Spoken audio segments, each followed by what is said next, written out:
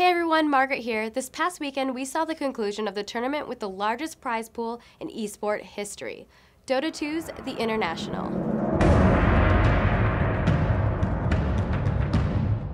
While Evil Geniuses were eventually crowned the victors, a number of different strategies were seen throughout the tournament, with heroes dropping in and out of popularity as teams tried to get the upper hand.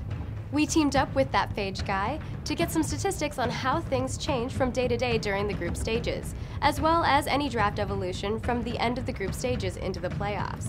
Because there was so much data, we decided to focus on statistically significant drafting changes with the same confidence cutoff as scientific publications, 95%. That means we're 95% confident that the changes are due to actual differences in the sets of games, rather than random variation. From day one's group play to day two, we only saw one statistically significant increase in combined picks and bans, Clockwerk. He dropped from a 76.7% pick slash ban rate down to only 40%, cutting his draft presence nearly in half. We did see a number of other heroes shuffling around in terms of picks or ban rates. However, with Naga Siren skyrocketing in popularity while Disruptor and Skywrath Mage both saw their picks drop to zero, Earthshaker also saw a drop in pick rate from 63.3% down to 30%.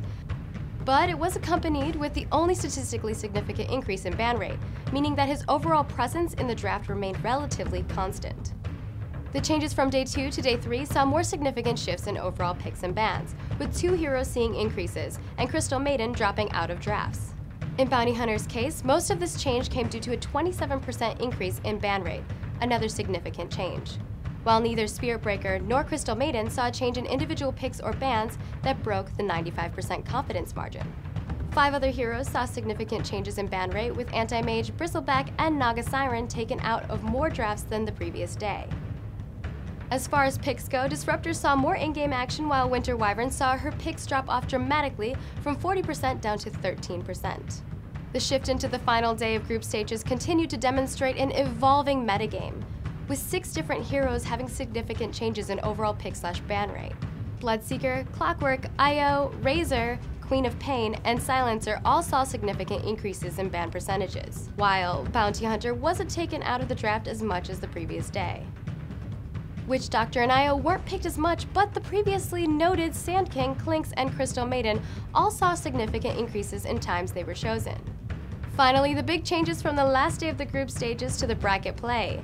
Due to the smaller number of games played each day in the bracket, we had to analyze all of the matches together in order to get a sample size large enough for significant calculations. In this case, it was comparing the 25 matches from the final day of the group stages to the 48 games in the playoffs. Also, keep in mind that the teams that stayed in the bracket longer will have more of their heroes in the data set, skewing the results their way.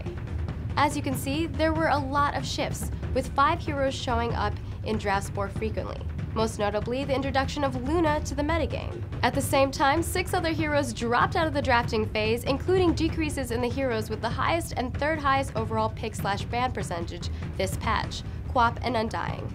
While most of the heroes with increases in ban percentage had the change mirrored in significant shifts in pick slash ban percentage, Gyrocopter's increase in bans might explain why he was picked less. On the other hand, Shadow Fiend and Io were both removed from the draft significantly less. As far as in-game play goes, three heroes showed up as picks more frequently, while Gyro and Centaur Warrunner dropped off.